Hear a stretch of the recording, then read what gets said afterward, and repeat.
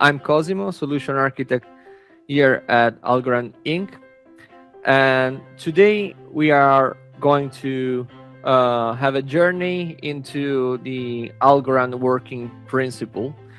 So the presentation is a compressed version of the Algorand School, which is an open source uh, deck that I encourage you to download and read. Uh, it's an overview of the, the Algorand technology, uh, an introductory step to learn how Algorand works. So today I reshaped the presentation and I call the presentation Algorand efficiency.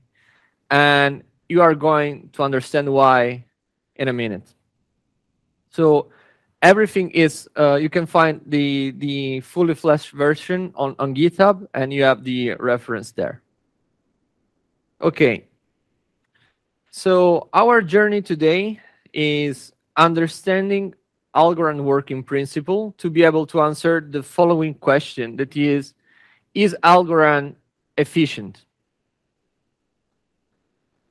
So let me just start with an example. So I'm an electrical engineer, and I think that right questions are relevant, more relevant than the right answer. So here's you have an electric motor, which is a machine that take some power, electrical power, as an input, apply some electromechanical conversion following the law of physics, and output useful mechanical power.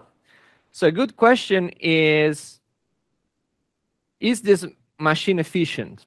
But a better question is, is this machine efficient at consuming the input resources to produce the desired output for which it has been designed for.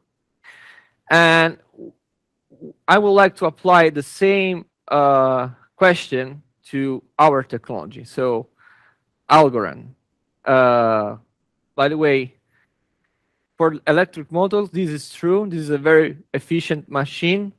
Um, and working principle are due to Galileo Ferraris in 1885. Uh, and follow the law of physics.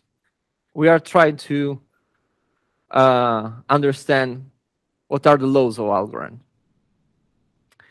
So first of all, we should see a blockchain as an infrastructure for digital native value. And I would like to quote here Eric Schmidt that says that the ability to create something which is not duplicable in the digital world has an enormous power, an enormous value.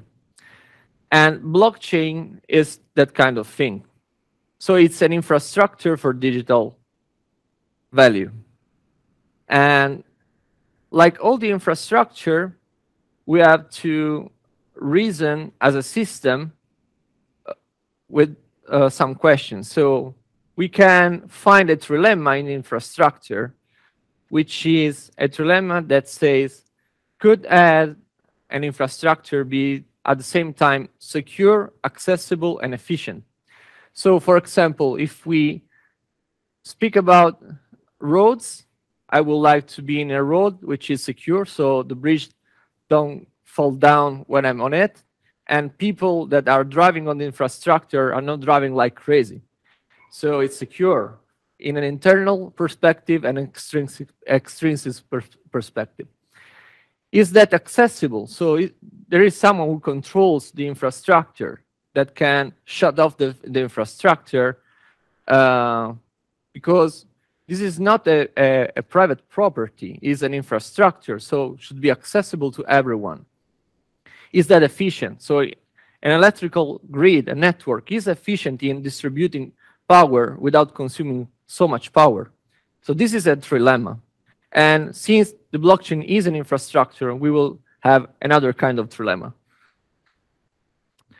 So the problem of the native digital value is that in the digital in the digital age, everything can be represented in bits, so a string of 0, 1.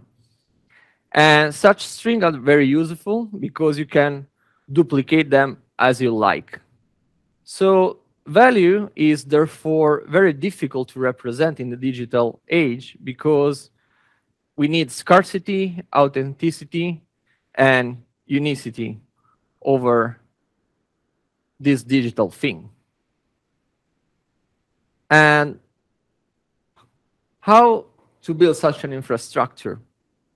And the answer is within a pro we need a protocol. So just like the TCP/IP is a foundational protocol that works good for communication, we will figure out a protocol that works better, not, not just for transferring information, but transferring value. But this is not just an information technology problem, because distributed system cryptography and game theory are the element that solves this problem and together creates this infrastructure. First one, distributed system and cryptography could solve information problem, but we need game theory and plug game theory into the game, so into the, the infrastructure, to obtain what? To obtain what we call a public, tamper-proof, transparent, and trustless ledger, which is what we want. And we are going to understand why in a minute. So I would like to reason about blockchain as a way to introduce analog properties into digital things.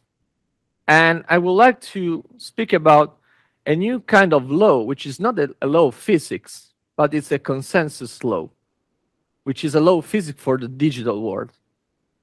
And we are going to understand why. And so notice that the, the path until today was trying to transform the analog world and digitalize it. But now we have a native digital problem for which the analog is the answer. Okay? So first of all, this ledger is what we call a blockchain, is a public ledger or infra of transactional data and solves the problem that we are trying to solve. So records who owns what. And this was the mission of the writing system since the beginning of the humankind. So one first application of the writing system was tracking what is mine and what is yours. And this is exactly what we are trying to accomplish here. So this is a, an historical example of, on how things work in the past. But since this ledger is very important and tracks a really important truth, we would like to replicate this ledger because more copies are better than one. So uh, what we end up obtaining is a distributed and replicated ledger across a system of multiple nodes. And all those ledger keepers should work together, following the same set of rules to verify what we are going to write into this ledger.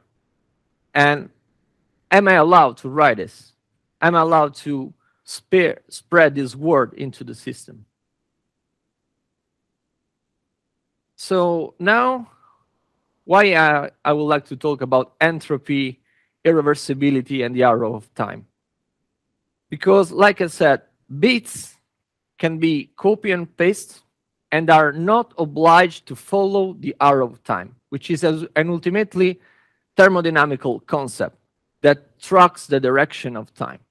Because if you take a system in a state A put it in the system in, in a state B, and then you come back to system A, you are not sure, and you are no thing that say that the second A state comes before uh, after the first one.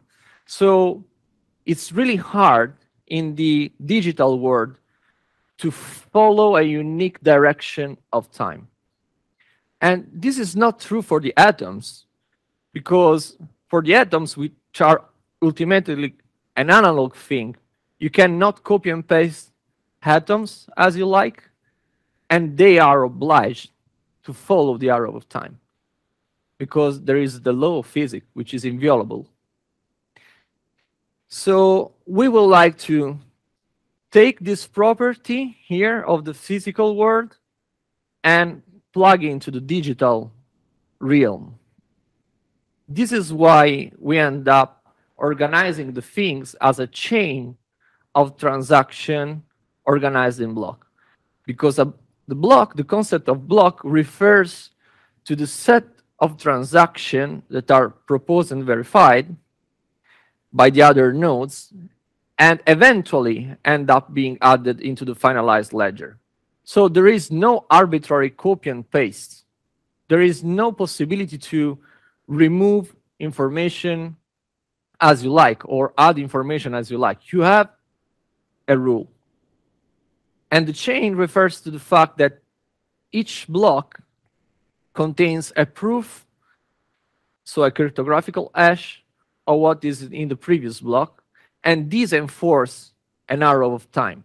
So these enforce on this system a consequential, an, histor an historical hierarchy. So here on the right, you have a machine, which is ultimately analog. And we, we can think of a, a machine like a system described by the evolution of states. So in this case, the system is very simple because it's described by two states, two state variables, which are pressure and volume. And here, we have an evolution of a system that is determined by something that acts on the atoms through the law of physics. Okay? So we end up consuming some input power to obtain useful work. On the other hand, we have another system that is characterized by states. And this, this system can evolve, can evolve over time. How evolves? So the evolution, how the evolution is determined. What, what, what is acting on those bits to evolve the state of the system? This law is what we call consensus protocol. So here you have the photo of Margaret Hamilton, which is maybe the woman that defined the concept of what is software engineering. So what you have here is the actual source code of the Apollo mission. So here, this is the source code. So it's a paleo computing where no IDE, no syntax highlighting, everything was handwritten. And this woman has a huge responsibility, which is adding a new piece of information that is very, very, very important to the whole system. Okay? So if the question is how should we replace the role played by the law phishing uh, in the digital realm, the answer is with a set of rules that we call consensus protocol that enforce the rules of the evolving system. So we can think of it like a blockchain in which each piece of information is contained in the block. And Margaret Hamilton has a block proposer, which has the duty to add a consistent information. But who elects Margaret Hamilton? Who chooses the fact that she is entitled to do that? So here you have an image, which is the uh, Tempio della Concordia, Temple uh, of Concordia. Um, it is the largest, maybe best preserved Doric temple in Sicily. And has been entitled to the goddess of Concordia, which is the goddess that protects the social harmony. Okay? So this is a power powerful symbol because we need to have an harmony in the system and we have to came up with an agreement so a consensus that says how should how to choose the proposer for the next block. So why someone says, okay, it's Har Margaret Hamilton or it's Cosimo in a way that is public and permissionless. Uh, how to ensure that there is no ambiguity between two blocks proposed at the same time. So we have a unique answer to this question. And that ultimately answer also to the fact that how to ensure that blockchain stays unique and we have no branches in the technology. And also, since the, this is a law, how should we use this law to evolve itself so that this system is evolvable over time? So the first answer when this technology came up was the proof of work answer, and which is not sustainable because miners uh, compete with each other to append an S block and earn a reward for that, fighting this very, very expensive computational battle. And the more computational power you have, the higher the probability that you end up being elected to propose this block. But this is very wasteful because this needs huge electrical consumption and end up being very concentrated. So this concentrates the governance of the system in few mining farms. And also it's not resilient with respect to soft forking, which is something that we ultimately don't want. So what was the other answer historically is, okay, to elect, to, to take the game theory into place and let people that have skin in the game participate in the, in the process, we should rely on those people that show something which in, is important to them. It is the real value that they own on the ledger. So the network participation in proof of stake uh, require a commitment and an interest in keeping this ledger safe, uh, providing the proof of ownership of a value that is stored on the infrastructure. And the higher is the skin in the game, the higher probability you have to being elected as a block proposer. But historically, there were two forms of proof of stake with some limitation. So for example, the first one, which is the bonded proof of stake, requires two validators behind their stake to show a commitment in validating a, a block by bonding it, their value. The problem is that this participation has some risk of economical barrier, barrier to the entrancy and makes those value not liquid. The other proposal was, okay, uh, let's try to delegate the vote of minor uh, stakers to someone that could speak on their behalf, on their behalf. And the delegated validation uh, end up being another uh, answer to the problem of electing people, but this has some concern and some problem, which is is centralized by design and since you have known delegated, it's very easy to attack them with denial of service. It's like playing battle, battleship in which you know in advance the coordinate of your adversary. So you can very easily target it. And that's why we end up being here today to discuss the Algorand consensus, which is the consensus that solves a trilemma for an infrastructure, which is ultimately the blockchain infrastructure. And if you replace those concepts, you end up discovering that this infrastructure, to be useful, needs to be secure, scalable, and decentralized at the same time. And we think our technology can do so. And these are the statistics and the performances. So Algorand is, is scalable up to billions of users, is efficient because can accomplish thousands of transactions per second, and we are going to scale up 10x.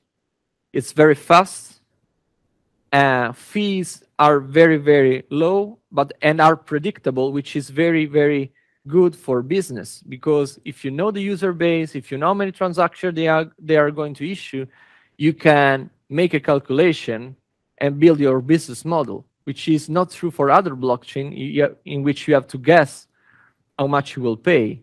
And good luck to you if you end up getting the right answer.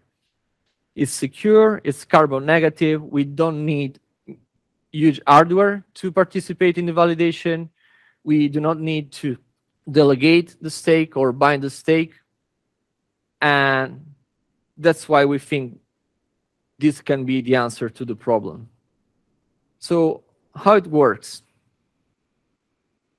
Trying to resume the working principle here through an example. So imagine that each algo that you own is like a magical dice with some properties that are enforced by the verifiable random function, which is the foundational cryptographical primitive behind the Algorand consensus. So those dice are perfectly balanced and equiprobable, so nobody could tamper with the result. So you cannot make the six phase more probable than the two phase, for example. If you keep observing the dice rolls, by no means you can increase the chance of guessing other results. So the observation of this uh, randomness is very, very unpredictable. And each dice is uniquely signed. This means that uh, every dice, by, for each dice, you can, you can name the owner. So you can know who rolled that dice. And those dice are publicly verifiable. This means that once the dice have been rolled, everybody can verify instantaneously the result, who rolled the dice, and be sure that the result is safe. How we use this technique to elect people. So for each algo that you can assimilate to a tamper-proof dice, participating in this cryptographical dice roll means that each participant rolled the dice for each new block in a distributed, parallel, and secret way. And the one who ends up winning the, the rolling of the dice is the one who can speak on the network. We use this technique in this way for each block and each round. So we first use this dice roll to elect a proposer, and then we elect a committee that verifies what the proposer said. And if we come to an agreement, we generate another block. So we elect the block proposer, we verify the information, and we put another step forward in the ledger. So the pure proof of stake is secure because an adversary doesn't know which user you should corrupt, you should corrupt. And once he realizes which user are selected, it's too late to benefit from attacking them. And since these happen in the privacy of your hardware, uh, those set of rules are distributed and never exposed to the network until you speaks to everybody. So this machine produced an output over the years, and this is somehow a result of the output that this machine is producing. So we produce over 20 million blocks with zero downtime. So those law are working. It's not something that is just theory. Our ledger is now almost a terabyte, over 23 million addresses, and the average of block production is 4.4 second, which is an impressive average because it's for 20 millions blocks with very, very few statistical deviation of from that number. And what we have on this machine, what we have on this layer one, we have some very powerful primitives like Algorand standard asset, atomic transfer, the Algorand virtual machine, and the Algorand state proof. And everything happens at layer one. So what does it mean is that each complex system is characterized by a natural pulsation. So for example, the electrical networks uh, have a frequency or an automated assembly line have a takt time of production. We humans also are complex system and our uh, natural pulsation is our heartbeat. Okay? So the block time is the Algorand heartbeat. And the execution of all those primitives like standard asset, atomic transfer, AVM, that does not slow down the whole block's production. So this means that our layer one can handle all this. And the question is that, is that sustainable? So permissionless doesn't mean being responsibilityless. So although everyone can join, we have a responsibility over our planet. First of all, if we compare ourselves against the proof of work, it's very easy because it's a matter of order of magnitude.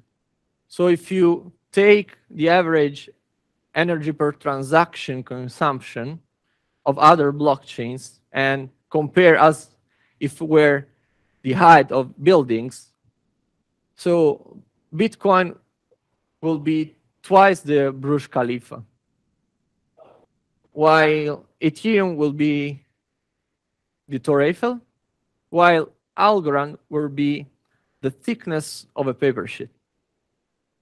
Okay? So you like to win easy because you are comparing uh, yourself with another kind of technology. So what about the other proof of stake? And the answer is that when the going got tough, the tough get going. So the proof of stake against the pure proof of stake needs to be clarified in this framework, which is the blockchain sustainability must consider the fact that you need scalable end user transaction, finality, multiple nodes, in a secure network that is really decentralized. So if you end up putting that power, if you recall the first example, into a machine, you will obtain an output. So being sustainable while centralized, insecure, or not scalable is a worthless claim. So I would like to reframe the question, the first question. Is the Algorand blockchain efficient at consuming energy to finalize end user useful transaction in a secure, scalable, and decentralized way? This is the real question. This is the, all that matters. And so Algorand transactions are 100% available to end users. Other proof of stake consume their own transaction for consensus, for example. There are some of them. So when we say finalized transaction, we mean really useful transaction. Algorand transactions are 100% instantly final. So other proof of stake must consume the energy of several blocks to ensure transaction finality. And Algorand transactions are secured by a very decentralized network, some other proof of stake blockchain have only few validators.